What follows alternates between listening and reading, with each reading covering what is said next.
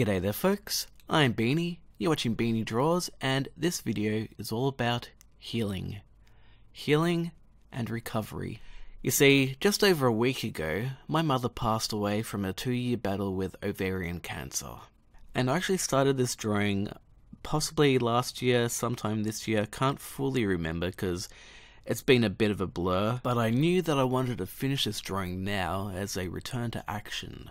I didn't want to go back to drawing with dark monsters or dinosaur battles, as fun as those are. I wanted to get back to drawing something a little bit lighter and friendlier to start off with. You see, I actually started this drawing when I was going through some depression because of my mum's cancer battle.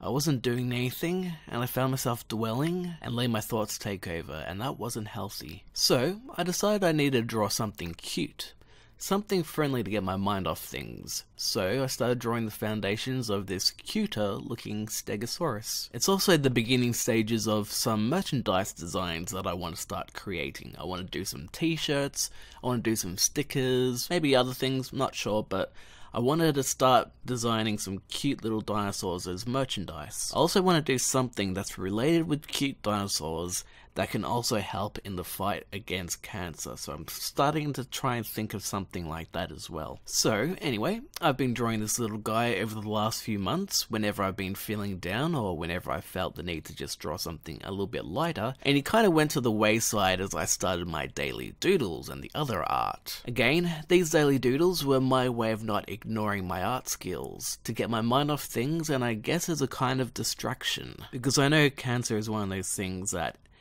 well, my mum's battle was two years, and cancer is one of those things that even if you win the battle, it still takes a very long time to win. So I knew it wasn't going to go away anytime soon, and I had to do something on a daily basis to keep my mind off it. But then, mum's health started going downhill, so I decided to spend less time drawing for a little while and spend more time with mum and my family. And then, mum passed away. And the whole time period between when the last time I saw her really being healthy, which was only about a month ago, which was Anzac Day for Australians. So that was about the space of a month. So she went from being relatively high spirits and looking fairly healthy, even though she had a bloated stomach. And then on Mother's Day, or just a few days before Mother's Day, she was admitted to hospital and then a week later, she was put into palliative care, which basically means that the end is coming. And a week after that, she was gone.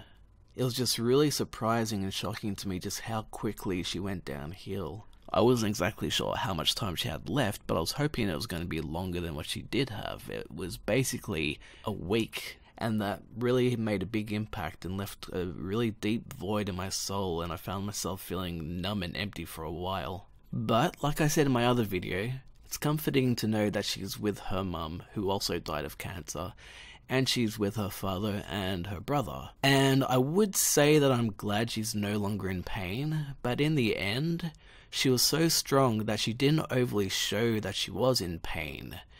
She was a resilient fighter right up until her last breaths, and even the day before her death, she told us that she wasn't done fighting for women's rights and she wasn't done fighting for awareness and she just wasn't done fighting. And I want to make sure that fight continues. And that's also why I want to try and keep making videos as often as I can. And so, Mum passed on from this world, and at her funeral, which might I add, she planned every detail herself, so it's exactly the way that she wanted it. I think she even wrote every word of her service, or at the very least with the help of the celebrant, who also happened to be her best friend, which I'll always be eternally thankful for. So it was all exactly the way that she wanted it, and that also gives me comfort. And her final parting words in the service were that she wanted to be remembered with smiles and happiness. She wanted to be remembered for her fight and how strong she was and how determined she was to beat this.